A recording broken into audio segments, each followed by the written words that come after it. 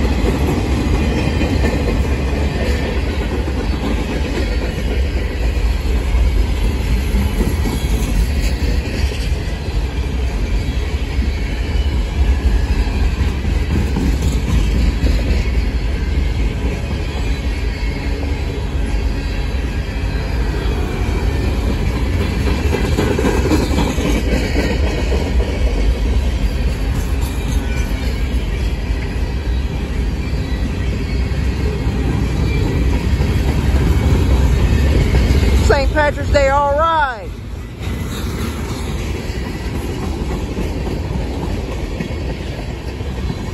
That's some good green for St. Patrick's Day.